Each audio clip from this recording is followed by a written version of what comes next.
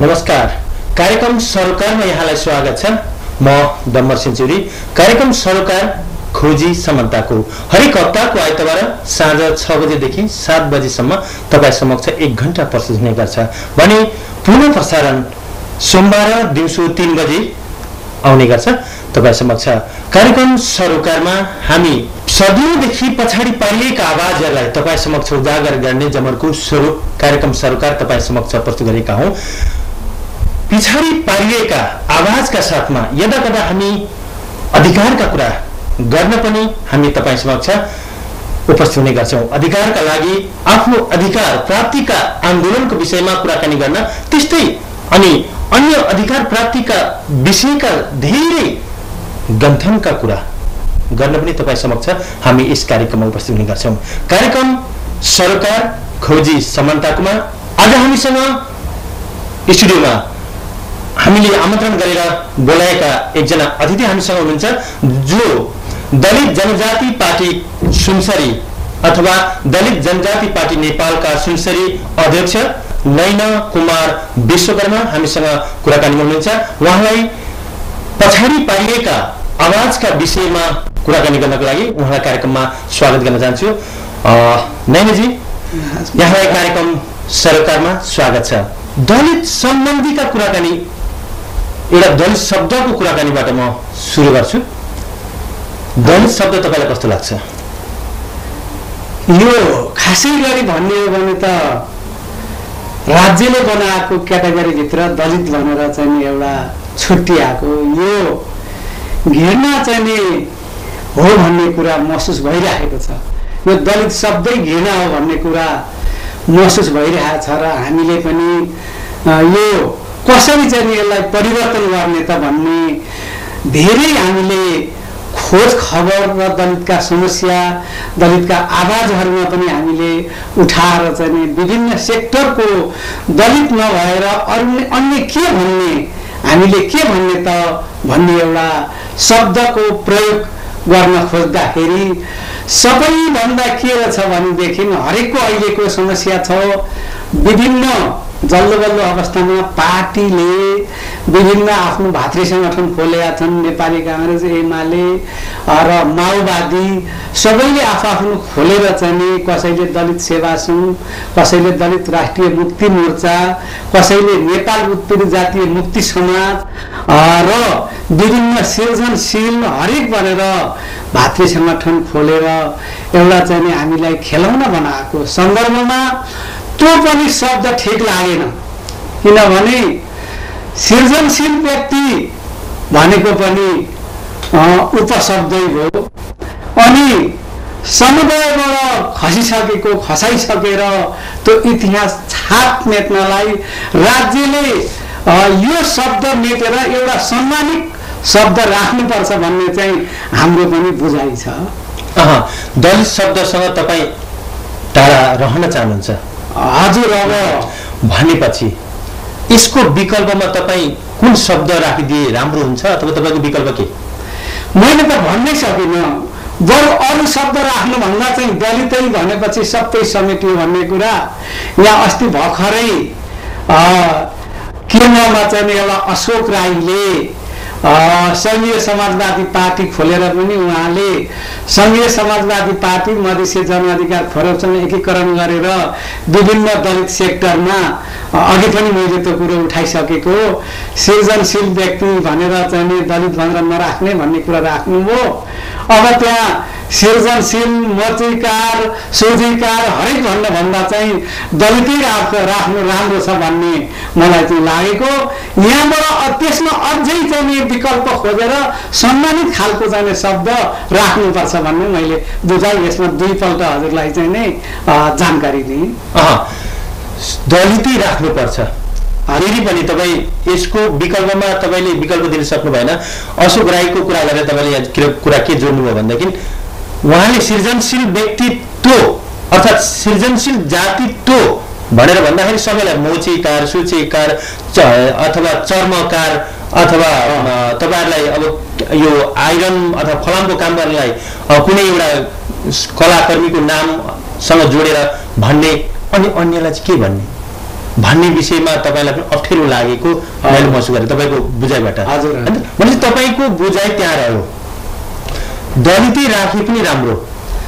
सबै समेट्यो नि तपाईँले एउटा कुरा के उठाइदिनु भयो अहिले सुरुमै भने दलितको नाम बेचेर सबैले ठगी खाने भाँडो बनाए यसलाई। त्यसैले दलित हटाउनु पर्छ कि? यो त तपाईँलाई लाग्यो। यथार्थ तपाईँले। व्यक्त गर्नुभयो। यस विषयमा कस्तो तपाईँको धारणा चाहिँ के? प्रश्न भन्न खोज्नुभयो के? मैले भन्न खोजेको चाहिँ अहिले राज्य चलिराखेको छ दलितको नाम बेचेर। प्रत्येक सेक्टरमा प्रत्येक चाहिँ सङ्घ संस्थाहरूमा सबैमा पछाडि परेको समुदाय दलितहरूको चाहिँ सहभागी भनेर आरक्षणको कोटा भनिएको छ कोटा भनिएको छ आरक्षण भनिएको छ। तर त्यो राज्यले छुट्याएको कोटा पनि लागू भएको छैन आरक्षण पनि लागू भएको छैन। तपाईँले धर्मले घर फुटायो भनेर धर्म परिवर्तन भएर गएको छ भन्ने कुरा पनि उठाउनु। यो विषय पनि राम्रै विषय हो। हजुर। म यसमा जोडिन अहिले समय रहेमा जोडिन चाहन्छु। होइन? तर मैले भन्न खोजेको मैले उठाउन खोजेको धर्मकै कारणले गर्दाखेरि हामी पछाडि पारिएका हौँ है भनेर भन्ने गरेको सुनिएको छ। यो कुन धर्मले यसरी पछाडि पार्यो त दलितहरूलाई? किन कसरी पछाडि पारिएको महसुस गरिरहेको छ दलितहरूले धर्मको कारणले भन्ने कुरा मैले उठाउन खोजेको। कुन धर्मले यसो गर्यो? यसमा चाहिँ तपाईँलाई अझै प्रश्न पारौँ। यो नेपाली हामी नेपाली हिन्दू धर्ममा आबद्ध थियौँ। हिन्दू धर्ममा भित्रमा पनि चाहिँ अतिवाद पितृसत्तात्मक अतिवादले चाहिँ नि के भनेदेखि जगत्याएर हामीलाई चाहिँ नि झन् पछाडि पारेको हो। यो चाहिँ ब्राह्मणवादी पितृसत्तात्मक अतिवादले चाहिँ नि हाबी भएपछि नेपालमा हाबी भएपछि हिन्दू धर्ममा त्यो धर्मले गर्दाखेरि हामीलाई चाहिँ नि क्याटेगरी छुट्याएर दलित वर्ग पार्ने पनि त्यही हो पछाडि पार्ने पनि त्यही हो। आफू चाहिँ नि के भनेदेखि सत्ता ठिकाउनु विभिन्न सेक्टरमा चाहिँ नि के अरे सामन्तहरूले आफ्नो वर्चस्व कायम गर्न सत्ता टिकाउनु कायम गरे अब चाहिँ जनताहरूले चाहिँ के भनेदेखि के अरे त्यहाँ सामन्तवाद र पक्षपात उत्पन्न भयो। समतामूलक समाज निख्रिएर चाहिँ के भनेदेखि के अरे सार्वजनिक सम्पत्ति निजी सम्पत्तिमा चाहिँ जब मान्छेले चाहिँ आफ्नो कम्मर कस्न थालेपछि यो हुन थाल्यो यो हिन्दू धर्मको अतिवाद भनेको ब्राह्मणवादी पितृसत्तात्मक हो। त्यसकै कारणले गर्दा अहिले यसरी पारिएको छ। यसैले गर्दा। किनभने अहिले पनि मेरा मेरा साथीहरू हुनुहुन्छ यहाँ ठुल्ठुला पनि विद्वानहरू हुनुहुन्छ पण्डितहरू हुनुहुन्छ मेरा साथीहरू। मसँग एकसाथ बसेर खानेमा विद्वानहरूलाई चाहिँ के भनेदेखि अब जातभातको छैन। भन्ने कुरा उहाँहरूसँग चाहिँ त्यो कन्सेप्ट आइसकेका छ। तर के भनेदेखि थोरै आफ्नो त्यो चाहिँ ब्राह्मणवादीको चाहिँ हाबी गरेर आफ्नो जीवनको पार्जन गर्नेहरूले चाहिँ अब यो धर्म यो छोइन्छ। म यो छोइएर उहाँ तल्लो जातिसँग तपाईँहरूसँग लसपस भयो भनेदेखि मेरो जीवनको पार्जन पनि हराउ हराउँछ र मेरो गरी खाने बाटो पनि हराउँछ भनेर उहाँहरूसँग त्यो कन्सेप्ट छ। त्यसैले गर्दा हामी अझै पनि पछाडि परेका छौँ। धर्मको कारणले गर्दाखेरि पछाडि होइन? यो भर्खरै किन यो- धर्ममा यस्ता कुराहरू चाहिँ हटाइनु पर्छ भन्ने आवाज चाहिँ अथवा यो धर्मले चाहिँ जातीय छुवाछुतको कुरा धेरै नै राखेको छ यो धर्ममा उल्लेख भएको छ। त्यो उल्लेख भए अनुसारले होइन यो कुराहरूले गर्दा हामी पछाडि पार्यौँ। यो धर्ममा के सुधार गर्नुपर्छ। शास्त्रमा नै के सुधार गर्ने हो कि अथवा शास्त्रलाई अकाट्य बनाएर होइन त्यसमा केही थप्नु पर्ने हो? भन्ने तपाईँलाई के? होइन यहाँले कस्तो छ यहाँको जर्जर जल्दोबर्सो अवस्था भने धर्मले चाहिँ के भनेदेखि यो हिन्दू धर्म नाम राखेको हो तर के भनेदेखि अघि पनि फेरि पनि कुरो उठाएँ ब्राह्मणवादी पितृसत्तात्मक अँ, सत्ताले यो संस्कारले चाहिँ छुट्यायो। के अब यसलाई के भन्छु भने नि यो परिवर्तन गर्नै पर्दैन यो धर्म यो यो मेरो बाबुको श्राद्ध गर्छु भन्दा उसले पाउँछ म पाउँछु तर त्यसले चाहिँ के भनेदेखि त्यो चाहिँ उसको त टिकाएर हामीले चाहिँ त्यहाँ पानी नै छुनु नहुने उसको उहाँको चाहिँ घरमै पस्नु नहुने प्रवेशै गर्नु नहुने त होइन नि। किनभनेदेखि बाबुको छोरो चाहिँ एउटा ब्राह्मण काम गरेका छ भने कामीको छोरो विश्वकर्माको छोरो पनि गरेका छ परिवारको छोरो पनि गरेका छ त्यो वेद पढ्नु न हो वेद पढ्नु त ठुलो कुरो होइन। वेदै पढेर चाहिँ जान्ने नहुनु भनेको त सबैले पढेका छ। अहिले हाम्रो विश्वकर्मा जातिहरू पनि पण्डित उत्तीर्ण भइसकेर चाहिँ महापुराण लगाइसक्नुभयो तपाईँले यति राम्रो कुरा गर्नुभयो। धर्मको बारेमा कुनै वेद पढ्नको लागि छुट सबैलाई छ। यसमा अधिकार सबैलाई छ। एकदम महान कुरा गर्नुभयो। धर्मको विषयको कुरा गर्दाखेरि धर्मले चाहिँ होइन भन्ने कुराहरू। वेद पढ्नको लागि समान अधिकार। तपाईँ एउटा संस्कृत विश्वविद्यालय अथवा संस्कृत पाठशालामा गएर तपाईँ दलितको सन्तान तपाईँको छोरो लगेर तपाईँले त्यो संस्कृत विद्यालयमा गएर एडमिसन गर्न खोज्नुभयो भने अहिले समान पाउने अधिकार छ? यो चाहिँ म अरू हरेक क्षेत्रमा चाहिँ अधिकार हाम्रो सम्मान छ। अहँ। अँ, सरकार सरकारी पढेको भन्नुभयो तपाईँले बिहासम्म बसेको भन्नुभयो होइन? हो खै कसैले जात ढाँटेर गएर जात ढाँटेर गएर उहाँ पढेर आएर कसैले पढे होलान् तर सबै दलितले त्यो पढ्ने अवस्था सिर्जना भएको त देखिँदैन नि। यसलाई यसरी हेर्नुपर्छ है फेरि। फेरि के गरी हेर्नुपर्छ भने हामी दलित भनिएर दलित भएरै हामी चाहिँ नै हाम्रो जातै यस्तो हाम्रो सबै अर्थै यसैमा लाग्छ भन्ने कुरा चाहिँ गलत भावनाले हेरिन्छ। अहिलेको अवस्थामा के भनेदेखि मलाई यहाँ भर्खरै अस्ति एउटा चाहिँ कार्यक्रम हो। त्यहाँ हाम्रो दलितकै कार्यक्रम हो म किन छुट्याएर उहाँहरूलाई भनिहाल्नु? म त्यो कार्यक्रममा सूचना पाएर गएँ। मलाई चाहिँ उहाँहरूले कसरी आसन गराउनु गराउनु भयो भनेदेखि दलित नेता भनेर गराउनु भयो दलित नेता भनेपछि नि। अब नेता भइयो भने पनि दलित नेता। भर्खरै राज्य पक्षको चाहिँ एउटा हाम्रो विश्वकर्म अहिलेको आन्दोलनमा मारियो।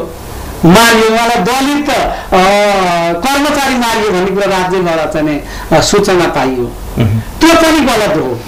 होइन? अब हामीले नेता हामीले नेता हुँदाखेरि पनि दलित नेता भनिनु। अब कर्मचारी हुँदा पनि दलित कर्मचारी भनिनु। पढ्नु के अरे पण्डित भयो भने पण्डित भनिनु। यो चाहिँ अलिकति हामीलाई के भनेदेखि विभेद चाहिँ अति धेरै छन् बढ्दैछ क्या हामीलाई। धेरै बढ्दैछ त्यस्तो लाग्छ? तपाईँ एउटा। विश्वकर्मा जागरण समाज नेपालको केन्द्रीय अध्यक्ष भएको हैसियतले बोल्दै हुनुहुन्छ। तपाईँले दलित शब्द चाहिँ हामीलाई अफाप सिद्ध भइसक्यो। अतिवाद भयो। हजुर। विकल्प पनि दिन नसक्ने फेरि। छैन अब के मैले के राख्नु त विकल्प? मैले राखेको विकल्पले राज्यले चाहिँ नि स्वामी हुनु पर्यो। होइन त। मैले त मैले यहाँ एउटा विकल्प यो राख्नुपर्छ भने भनेदेखि एउटा मैले छुट्याएको थिएँ के भनेदेखि अब अरू हुनु हुँदैन दलितहरूलाई चाहिँ नि एकता पार्नको लागि समतामूलक समाजको निर्माण हुनुपर्छ भनेर हरेक पत्र पत्रिकामा हरेक एफएममा हरेक चाहिँ सूचनामा बोल्दा अहिले राज्यबाट समतामूलक समाजको चाहिँ नि अभियान आयो भने हो त्यसै गरी मैले राज्यमा चाहिँ प्रचार हुने खालको एउटा अप्नाएर राख्नुपर्छ र मात्रै हुन्छ त मैले अप्नाउन सकेका छैन अहिले। सक्नु भएको छैन। हजुर। अ, यस विषयमा हामी कुराकानी फेरि जोड्न आउने नै छौँ अहिलेको लागि पालो भएको छ छोटो व्यापारिक विश्रामको। व्यापारिक विश्रामपछि कुराकानीलाई हामी निरन्तरता दिनेछौँ। हेर्दै गर्नुहोला एरिना टेलिभिजन। सरोकार खोजी समानताको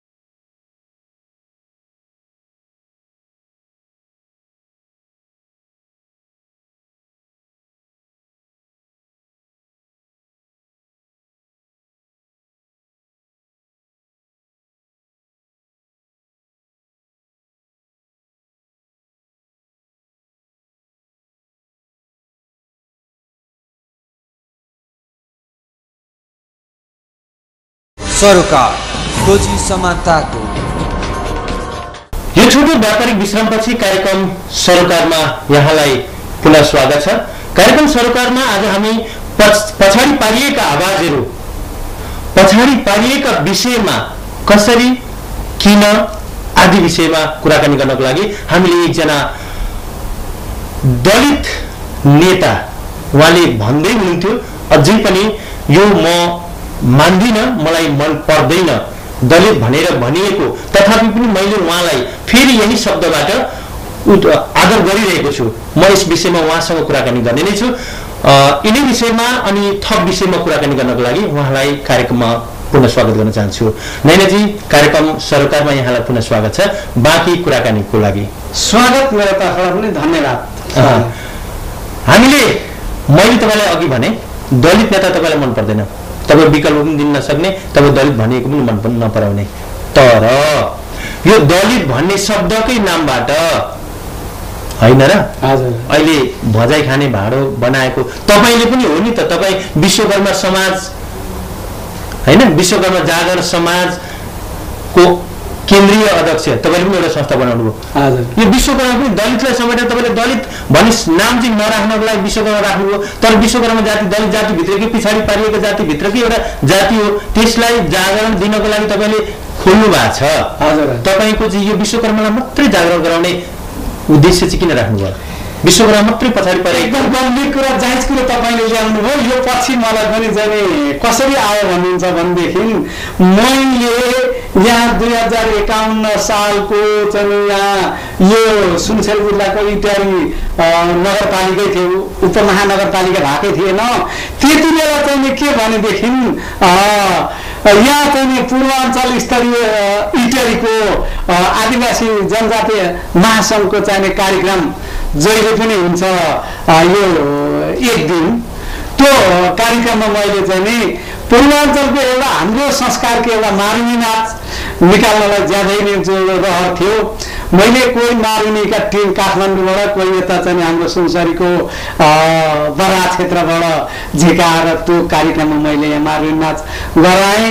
त्यो मारुनी नाच गराएपछि यहाँ अलिक उत्साह भयो। त्यसले गर्दाखेरि अब के गर्ने त? भन्दाखेरि त्यो मारुनी नाचलाई त एउटा हामीले संस्था खोल्नु पर्यो भनेर अनि त्यहाँदेखि मैले यहाँ अलिअलि सङ्घ संस्थाबाट चाहिँ यसो हामीलाई त्यो सहयोग प्राप्त भयो पैसा। त्यो प्राप्तको लागि चाहिँ के भनेदेखि संस्था गठन गर्नु पर्यो र संस्था गठन गरेर अनि त्यहाँबाट चाहिँ हामीले दर्तै गर्नु पर्यो त्यो पैसा चाहिँ त्यसै पाइएन। स्ट्याम्प प्याड सबै चाहियो र अनि त्यहाँबाट कर लाग्यो विश्वकर्मा दान समाज भनेर। दलित समेतले सबै के भनेदेखि अथवा दलितै मात्रै नभनु म एउटा सामाजिक कार्यकर्ता हुँ म एउटा घना चाहिँ उत्पीडन परेको अव्यवस्थित अ, ठाउँमा बसेको छु। अहिले अ, सुनसरी जिल्लाको इटरी उपमहानगरपालिका वार्ड नम्बर पाँचको जनता बस्ती भनेपछि त्यहाँ चाहिँ जम्मा चौध टोल विकास संस्था छ त्यहाँ गाउँनगर साझेदारी टोल विकास संस्था गठन गरेको छ नगरपालिकाले। त्यो सुकुम्बासी नै सुकुम्बासी छ। त्यहाँ चौध हजार जनताको बसोबास छ। त्यस्तो ठाउँमा बसेर पनि जाने विभिन्न सेक्टरमा मलाई जाने समस्या पर्यो भने बाह्र बजे राति पनि उहाँहरू लिन आउनुहुन्छ। अहिले पनि जति बेला भयो त्यति बेला उहाँहरू लिन आउनुहुन्छ। किनभने म छिटो छरितो भएर जनताको कुरो बुझिदिएर म बोल्न सक्छु र त्यहाँ लिन आउनुहुन्छ। भनाइ चाहिँ म एउटा दलित नेता तर सबैको सामाजिक अगुवाई कार्यकर्ता हुँ म। त्यसले गर्दाखेरि त्यो हाम्रो चाहिँ पूर्वाञ्चल स्तरीय मारुनी नाच एउटा उत्थान गरेको हुनाले मैले चाहिँ विश्वकर्मा जागरणसँग त्यसको लागि गठन गरे हो। मारुनी नाचको लागि? हजुर हजुर। ए विश्वकर्माहरूलाई अन्य विषयमा जागर गराउनको लागि जनचेतना बाँड्नको लागि होइन मारुनी नाच अ, को स्थापित गरेर त्यसलाई उत्थान गर्नको लागि? मारुनी नाच विश्वकर्माको मात्रै हो? मारुनी नाच अन्य जातको पनि छ यो तामाङको पनि छ मगरको पनि छ। तर उठन बेठन आफआफ्नो आफआफ्नो छ। विश्वकर्माको हामीले इतिहासमा चाहिँ भेट्टाएको मारुनी नाच विश्वकर्माको एक सेक्टरको चाहिँ हाम्रो पनि हो। र यो कसैले गर्न पाउँदैनन् हाम्रो एक एक सेक्टरको मारुनी नाच छ हाम्रो पनि। तपाईँको मारुनी नाचलाई भनेपछि यो विश्वकर्मा जागर समाज हजुर।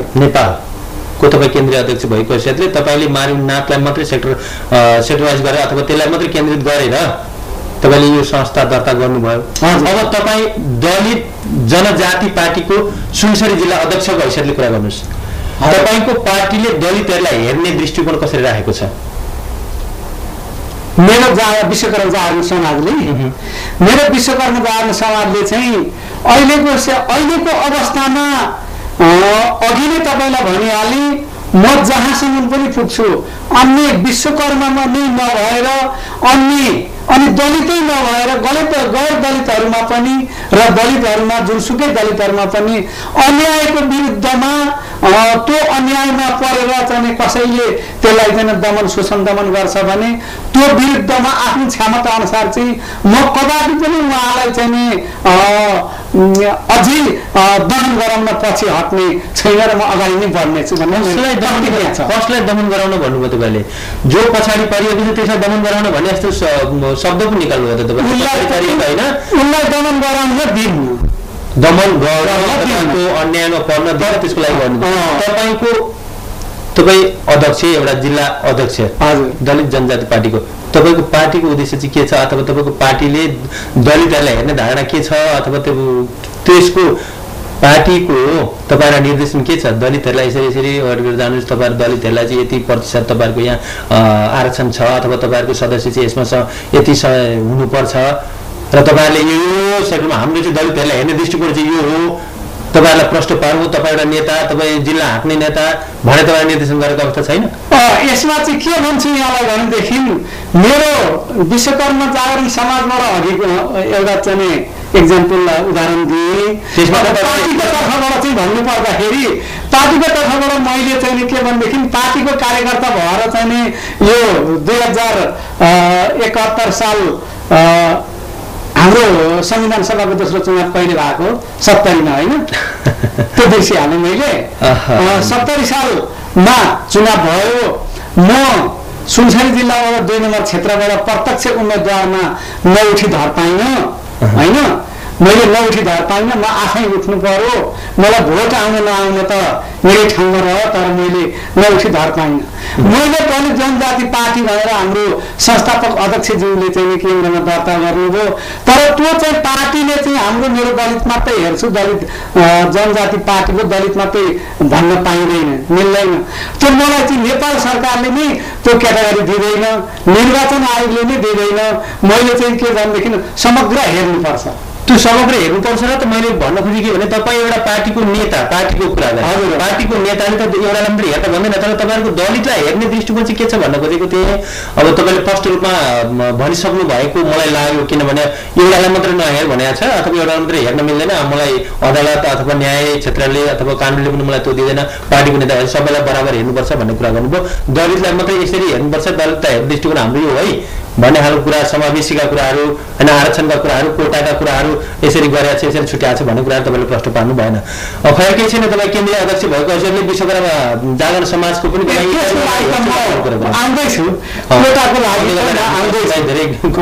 आउँदैछु त्यो किन भनेदेखि अब बोल्दै लाँदा सबै कुरा कन्फर्म नआउन सक्छ केही कुरा छुट हुँदै जान्छ। त्यसलाई चाहिँ सम्झाउँदै ल्याउनु तपाईँको राम्रो कुरो हो।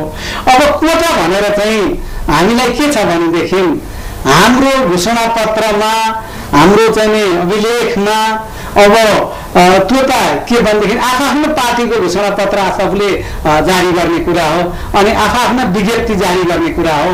अब त्यो त कोटामा छुट्याएर चाहिँ नै हामीले त के भनेदेखि दलितहरूको कोटामा क्याटेगोरीमा नराख राज्यमा प्रतिस्पर्धा गरेर दलितलाई समान अधिकारमा पार भन्ने कुरा हाम्रो हो। हाम्रो मुख्य हाम्रो मुख्य एजेन्टै त्यही हो। समान अधिकार दिनुपर्छ कोटामा राख्न मिल्दैन भन्ने कुरा।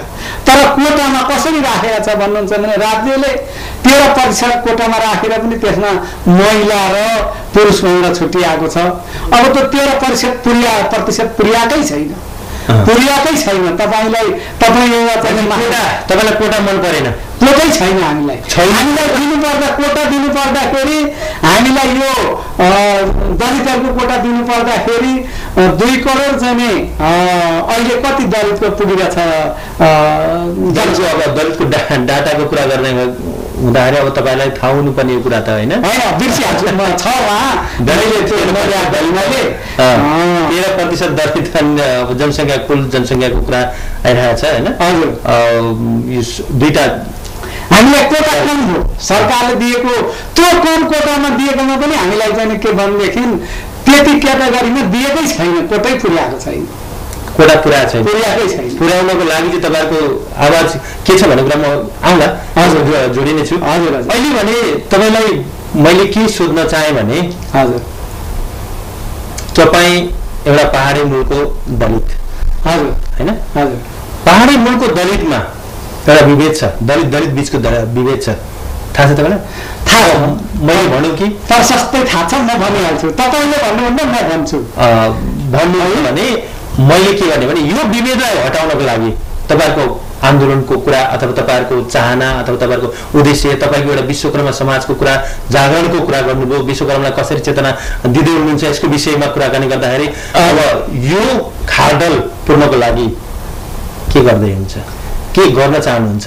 यो चाहिँ म के भन्छु भनेदेखि सबै चाहिँ के भनेदेखि अलिकति हामी नेपाली नेपाली हौँ भन्ने नेपाली हौँ भनेर गर्व गर्नु पर्यो सबैले हामी। जनता हामी सानो जात होइनौँ हामी मान्छे हौँ भन्नु पर्यो। र अनि विश्वकर्मा दलित जातिमा वर्गमा सबैभन्दा अहिले देखिएको विश्वकर्मा त्यहाँबाट चाहिँ परिवार त्यहाँबाट चाहिँ सार्की त्यहाँदेखि हुँदै हुँदै मधेसी दलितहरू आएका छन्। तर पहिले मैले चाहिँ नि दुई हजार पचपन्न सालकै चाहिँ नि निर्वाचनदेखि म गाविसमा निर्वाचित भ भएर हिँडेपछि नै म चाहिँ के भनेदेखि अब जात छैन है अब हुँदैन यो गर्नु। भनेर मैले चाहिँ नि मेरो साथी परिवार हुनुहुन्थ्यो एउटा उहाँलाई भित्र हुलेर मैले चाहिँ नि फङ्ने आँट गरेँ मैले। तर मलाई के भनेदेखि बाहिर बाहिर चाहिँ मलाई घृणा गरेँ मलाई काट्ने के गर्ने भन्ने कुरा गरेँ तर मलाई सकेन त किन भनेदेखि प्रत्येक ठाउँमा मेरो सहभागी हुन्थ्यो प्रत्येक ठाउँमा म जानु पर्थ्यो। त्यसले गर्दाखेरि एउटा सानो बोल्न नसक्ने मान्छेलाई पनि त्यति बेला विश्वकर्माहरूले एउटा दमैलाई भित्र हुने दमैको घरमा खाइस मारेर काट्न पनि सक्थे। तर त्यति बेलादेखिको मैले चाहिँ नि अब समतामूलक समाज ल्याउनुपर्छ। अब एकजना दुईजना सयजना पाँच सयजना देश हामी चाहिँ अब समान्तमा जानुपर्छ भनेर ल्याउने मान्छे पाहाडमा खोटाङ जिल्लाबाट अभियान चलाएर म यहाँ आउने अहिले सुनसरीमा आएको छु अब यहाँलाई भन्नु पर्दाखेरि अ, अहिले पाहाडी मुलका दलितहरूको अलिकति जीवन स्तर उक्सिएको छ। मधेसी मुलका दलितहरूको चाहिँ नि छनौटी मधेसी मुलका दलितहरू पनि यहाँ एमए डिग्री पढ्ने हरेक चाहिँ यस्ता चाहिँ सेक्टरमा पढ्ने पनि छन्। तर त्यो एउटा जोडा चार सयवटा पढेर सबैको पढाइ जीवन स्तर उक्सिया छैन। धेरै दलितहरू पछाडि परेर चाहिँ अहिले के भनेदेखि हरेक राज्यको चाहिँ सुविधा नपाउने अवस्थामा छन्। होइन। सुविधा नपाउने कुरा अर्को भयो। मैले भन्न खोजेको पहाडी दलितभित्र रहेको एउटा विषम अवस्था। बराबरी अवस्था छैन। छैन। होइन? यसलाई यो खाडल पूर्णको लागि तपाईँको योजना के भन्न खोजेको थियो तपाईँ एकजनाले एउटा परिवार जातिको मानिसलाई ल्याएर खाना खुवाउनु भयो घरमा। यस्तै आन्दोलन गर्दै सबैले आफ्नो आफ्नो घरमा खाना खुवाउँदै गएर यो आन्दोलन पुरा होला।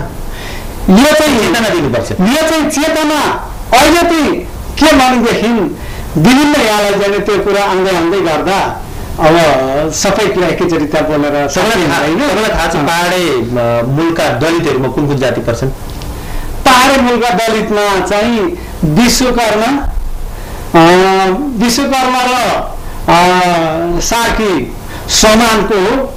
अनि त्यहाँबाट विश्वकर्मा सार्की अनि त्यहाँदेखि अलिकति नछुइ छुइने भनेको त्यहाँ परिवार दमै पर्नुहुन्छ।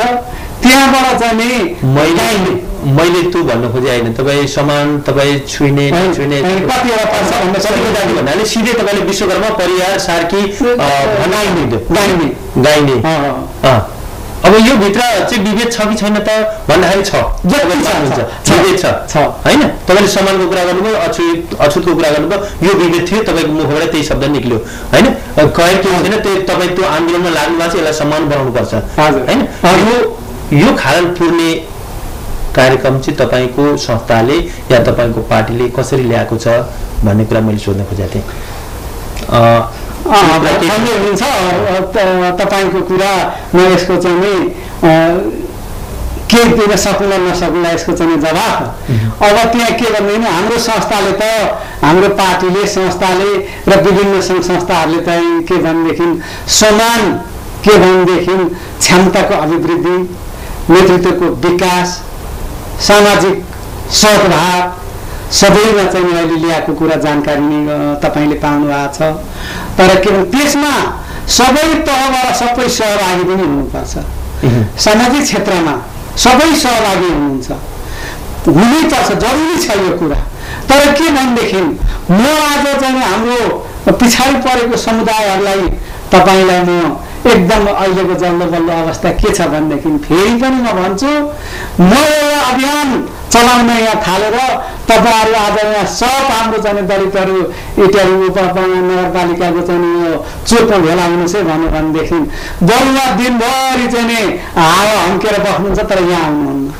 उहाँ आउनु पऱ्यो नि त। म पनि त उहाँहरूभन्दा धनी छैन म। म चाहिँ के भनेदेखि एउटा एउटा बस्ने बास मेरो चाहिँ अव्यवस्थित त्यस्तो ठाउँमा म बसेर हिँडेको छु। आज जिल्ला आइज भन्छ म जिल्ला पुग्छु। भोलि क्षेत्रमा आइज भन्छ क्षेत्र पुग्छु। त म खानु बा घरमा भोकै आएर सुत्नु पर्ने अवस्था छ मेरो। भनेपछि अधिकारको लागि समय आउनु पर्यो यो अधिकार त मैले मात्रै पुरा गरेर हुँदैन। हुँदैन। ल्याएर घरमा ल्याएर खुवाएर हुँदैन। यो सबै हामीले यो अभियानमा उठ्नुपर्छ लाग्नुपर्छ चेतना जगाएर होस्। हो। जसरी भए पनि भन्न खोज्नु भएको तपाईँले। त्यसै त घरमा बसेर चेतना जाग्दैन तपाईँको भनाइ मैले बोले यो म सही छु कि गलत छु? तपाईँले बोलेको कुरामा। तपाईँले बोलेको कुरालाई मैले थपिदिएँ। ठिक छ नि? ठिक छ यही कुरालाई फेरि हामी निम्तता दिनेछौँ बाँकी कुराहरू। अहिलेको लागि पालो भएको छ छोटो व्यापारिक विश्रामको व्यापारिक विश्रामपछि हामी कुराकानीमा आउनेछौँ। आज हामीसँग पछाडि पारिएका आवाजको विषयमा कुराकानी गर्नको लागि हामी दलित जनजाति पार्टी नेपालका सुनसरी जिल्ला अध्यक्ष एवं विश्वकर्मा जागर समाज नेपालका केन्द्रीय अध्यक्ष नैन कुमार विश्वकर्मासँग कुराकानीमा छौँ। व्यापारिक विश्रामपछि उहाँसँग कुराकानीमा जोडिन्छौँ। अहिले भने यो छोटो व्यापारिक विश्राम। सरोकार खोजी समानताको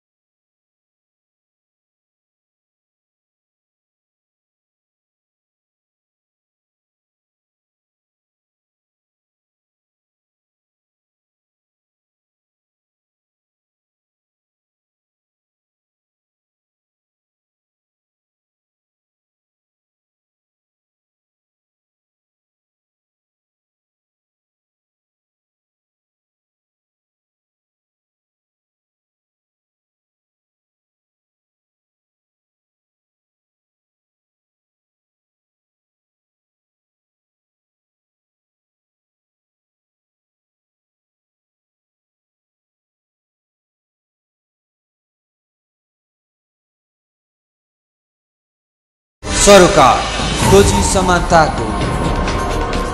व्यापारिक विश्रामपछि तपाईँलाई कार्यक्रम सरोकारमा पुनः स्वागत छ।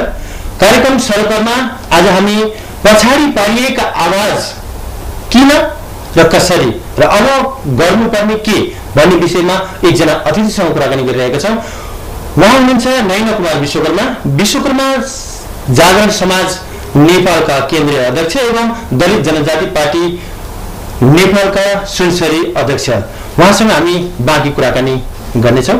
अहिलेको लागि उहाँलाई कुराकानीमा स्वागत गरौँ। नयनजी कुराकानीमा तपाईँलाई पुनः स्वागत गर्न चाहन्छु। धन्यवाद। स्वागत छ मेरो पनि। हामीले दलितका कुराहरू धेरै गरिसक्यौँ। अब हामी कार्यक्रमको अन्तिम चरणको कुराकानीमा आइपुगेका छौँ। हामी कार्यक्रमका अन्तिम चरणमा अधिकारका कुरा गरौँ।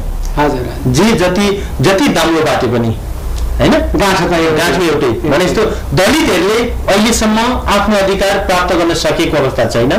दलितहरूले जे पीडा भोगे त्यो पीडा भोग्न अब नपरोस्। होइन? हाम्रा पालामा जति भोग्यौँ भोग्यौँ हाम्रा भावी सन्ततिले भोग्न नपरोस्। यस्तै यस्तै पीडाका कुराकानी हामीले केही अङ्कदेखि दलितका आवाजहरूलाई उठाइरहेको छौँ कार्यक्रममा निरन्तर रूपमा। अब हामी बिचबिचमा अन्य कुराहरू पनि गर्ने नै छौँ। यसलाई निरन्तरता दिनको लागि फेरि हामी अरू व्यक्तित्वहरूसँग पनि जोडिउँला। तर अब तपाईँसँग जोडेर कुराकानी गर्दा अधिकारका कुराकानी गर्दा अधिकार दलितले अब कति पाउन बाँकी छ? अब यसमा चाहिँ गम्भीर कुरो उठाउनु हो गम्भीर प्रश्न उठाउनु हो। अधिकार पाउनु त एउटा कुरो सामन्तले बनाएको साङ्लो थियो एउटा त्यो साङ्लो छिन्दै छिन्दै छिन्दै छिन्दै छिन्दै आएर अब अन्तिमको घडीमा आएर अन्तिम चाहिँ साङ्लोमा आएर चाहिँ त्यो अलिकति छिन्न मात्रै बाँकी छ। अब यो अहिलेको अवस्थामा भन्ने हो भनेदेखि राज्य पक्षबाटै चाहिँ नि यो साङ्लो छिनाउनु पर्छ। भर्खरै हालै यो घोषणा भएको संविधानमा हामीले संविधान लेख्न जनताको भाग्य र भविष्यको लागि संविधान लेख्न पठाएका माननीय सांसदहरूले लेख्नुभयो। र त्यहाँ के भनेदेखि प्रारम्भिक मस्यौदा हामी कार्यकर्ताको जिल्ला स्तरीय राजनीतिक दलहरूको एक एकवटा हातमा आयो आएको थियो। त्यहाँ हामीले त्यो आन्तरिक मस्यौदामा सरस्वती रूपले हेर्दाखेरि अब यो आन्तरिक मस्यौदाले दलितको भावना समेटेनौँ। दलितहरूले अब पूर्व पश्चिम एकसाथ चाहिँ अब आवाज उठाउनुपर्छ। यो संविधान मान्यता दिनु हुँदैन भन्ने कुरा हामीले चाहिँ उठाएपछि अघि पनि तपाईँलाई मैले अनौपचारिक कुरामा राखेँ होला। अब प्रधानमन्त्री सुशील कोइरालाले अथवा सरकारको प्रवक्ता सरकार नेपाल सरकारले बोलाएर चाहिँ दलित अगुवाई कार्यकर्ताहरू दलित सांसदहरू बोलाएर के केमा असन्तुष्ट भयो त भन्ने कुरा गरेपछि अब हामीले पठाएको वा तपाईँ अब जनताले चाहिँ भोट दिएका भएदेखि म पनि जान्थेँ म पनि अधिकार लिएर जान्थेँ। त्यस्तै मैले म जस्तै अधिकार लिएर गएका व्यक्तित्वहरू चाहिँ वार्तामा बस्नु हो। वार्तामा बसेपछि अब के गर्ने त भनेपछि त्यहाँबाट पछिल्लो चाहिँ नि प्लेटमा आएको चाहिँ नि दलित आयोग संवैधानिक आयोग मा राखेपछि अनि त्यो मुद्दा हाम्रो चाहिँ नि अलिकति अगाडि बढ्छ भन्ने कुरा आएन र मुद्दा फैसला भयो र त्यसले अलिकति अब? दिन्छ कि भन्ने कुरा मात्रै हो त्यही संवैधानिक दलित आयोग भनेर नभएदेखि मैले चाहिँ पहिलेदेखि के उठो कुरा उठाएको थियो भनेदेखि अब यो राज्यले दलितहरूलाई खास अधिकार र कोटा दिने हो भनेदेखि दलित आयोग अधिकारसम्मको संवैधानिक आयोग दिनुपर्छ र चौध अञ्चल पचहत्तर जिल्लामा जिल्ला जिल्लामा चाहिँ दलित आयोग चाहिँ अहिले जस्तै महिला बालबालिका आयोग छ जिल्लामा। त्यस्तै चाहिँ दलितहरूको आयोग पनि जिल्ला जिल्लामा हुनुपर्छ भनेर चाहिँ मैले यहाँ चाहिँ नि संविधान सभा के अरे यो आउनुभएको थियो नि एकपल्ट सुझाव सङ्कलन समितिका सदस्यहरू उहाँलाई कुरो राखेको चौध अञ्चल पचहत्तर जिल्ला जिल्लामा दलित आयोग चाहिँ रहनुपर्छ र मात्रै दलितहरूको। त्यहाँ दलित आयोगमा पनि चाहिँ दलितहरू नै चाहिँ के भनेदेखि कर्मचारी रहनुपर्छ। दलितको नाममा चाहिँ नि अरू बस्न पाइँदैन। नभएदेखि दलितको अधिकार सुनिश्चित त यहाँ भनेर मैले कुरो राखेको हो। त्यो कुरो उहाँहरूले चाहिँ नि लिएर जानुभयो। अब के के पेस गर्नुभयो के के पारित भयो माथि त्यो थाहा भएन। हेर्नु भएको छैन। संविधान तपाईँ एउटा जिल्ला अध्यक्ष एउटा पार्टीको अहिलेसम्म तपाईँहरूले एउटा संविधानको एउटा मस्यौदाको कागज पनि दिएको छैन। प्रारम्भिक मसौदा त आइसकेको छ। त्यो हेर्नु। त्यसमा समेटिएन अरू पछिबाटको केही कागज आएको छैन। पछिको आएको छैन। भनेपछि अधिकार प्राप्ति गर्न धेरै बाँकी छ कि संविधानले पुरा गर्यो होला भन्ने तपाईँलाई लाग्छ? धेरै बाँकी छ। धेरै बाँकी हामीलाई धेरै अधिकार प्राप्तिको लागि के गर्नुहुन्छ? अब अब अधिकार प्राप्तिको लागि अघि पनि भने मैले उठाएँ। हामीले कसरी अगाडि बढ्नु पर्यो भनेदेखि एउटा परालको त्याम्रो चाहिँ नि यसरी यसो पारेर बल गरेर छिनाइयो भने चट्ट छिन्छ। तर एउटा परालको मुठो लुडो लगाएर यत्रो गरियो भने भैँसीले पनि छिनायो भने भैँसी बाँध्न मिल्छ।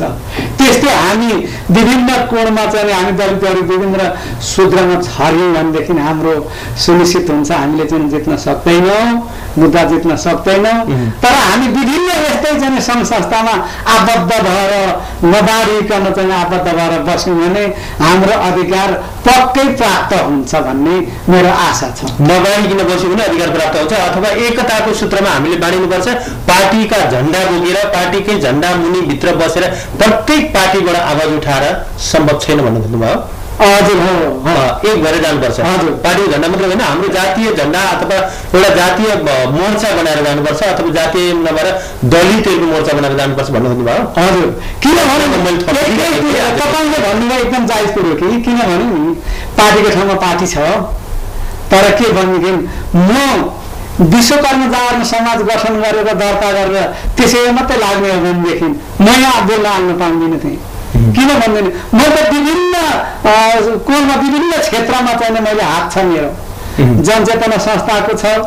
यहाँ चाहिँ नि भचुर दावाली मिलन क्लबको चाहिँ सदस्यमा छु। त्यत्रो चाहिँ एउटा महान संस्थाको सदस्यमा छु। म खोटाङ सुनसरी सम्पर्क मञ्चको चाहिँ उपसचिवमा छु।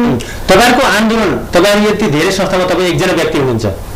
होइन यस्तै अगुवा व्यक्ति जति सबै धेरैवटा संस्थामा बाँडिने अनि त्यो संस्था कामना गर्दै आफ्नो जातीय अधिकार अथवा आफ्नो एउटा सङ्गठन अधिकार त्यही कुरामा आउँदैछु त्यही कुरामा आउँदैछु। अनि मेरै संस्था मात्रै छ म अरू चाहिँदैन भनेर मैले भन्ने हो भनेदेखि मेरो संस्थाको ठाउँमा म छु मेरो पार्टीको ठाउँमा म म छु तर विभिन्न म चाहिँ जहाँ जानुपर्छ भने पनि म तयार भएर जोसँग चाहिँ समन्वय गर- गर्नुपर्छ त्यही ठाउँमा तयार भएर म हिँड्दैछु।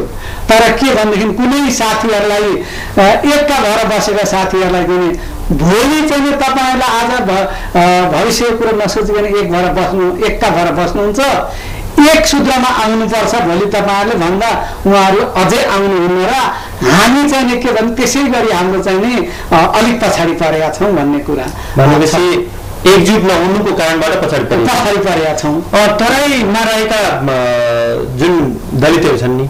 दलितै। शब्द आउँछ हजुर। तराई मूलका दलितहरू। पहाडी मूलका दलितको कुरा भइसक्यो तराई मूलका दलितलाई समेट्ने योजना चाहिँ के छ समेट्ने योजना चाहिँ तपाईँसँग। यो मैले भनेको कुरो चाहिँ नि के भनेदेखि अब यहाँलाई एउटा कुरो अन्तिम कुरो के आयो भनेदेखि यो जिल्लामा मैले चाहिँ नि दलित जनजाति पार्टी नेपालबाट राजनीति संयन्त्रमा बस्यो संयन्त्र खारिज भएर पनि राजनीतिक दलबाट अहिलेसम्म पनि यो जिल्लामा म सहभागी भएर बसिरहेको छु। भनेपछि। यो त्यो म भन्दैछु त्यसैमा आउँदैछु बसिरहेको छु।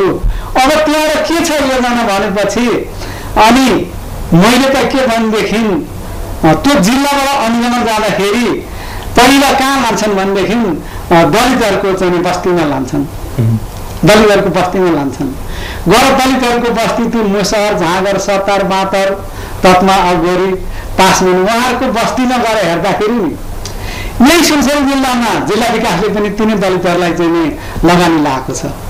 यो यहाँका अडचालिसवटा चाहिँ नि मुख्य मुख्य सङ्घ संस्थाहरू छन् गैर सरकारी संस्था महासङ्घ आइजिओ इन्जिओ उहाँहरूले पनि हामीसँग रिपोर्ट ल्याउनुहुन्छ डाटा ल्याउनुहुन्छ। तिनै दलितहरूलाई चाहिँ नि शिक्षा स्वास्थ्य चेतनशील सिपमूलक तालिम कार्यक्रम हरेक गरी भनेर ल्याउनुहुन्छ। अब त्यहाँ गएर उहाँहरूको दयनीय अवस्था हेर्दाखेरि केही भएको छैन। उहाँहरूको जीवन स्तर उक्सेकै छैन। अब त्यहाँ यहाँ आएर हामी भन्छौँ है त? तपाईँहरू चाहिँ नि एउटा संस्थाले एउटा टोलमा गएर काम गर्नुहोस्। त्यो दलितहरूको।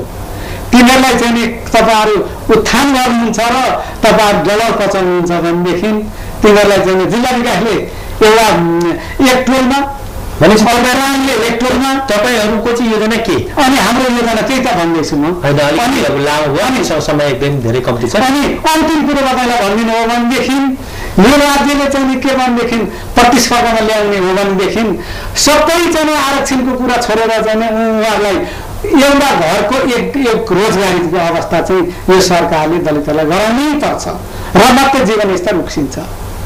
नभएदेखि उक्सिँदैन रोजगारी दिनुपर्छ जीवनस्तर उकास्नको लागि। तल तराई उम्, दलितहरूलाई समाज पनि त्यसरी गरेर सकिन्छ भन्नु सकिन्छ त्यसरी। एउटा पाखो पाखो पाल्न दियो एउटा सुँगुर पाल्न दियो त्यसले त भएन। शिक्षा कि आरक्षण?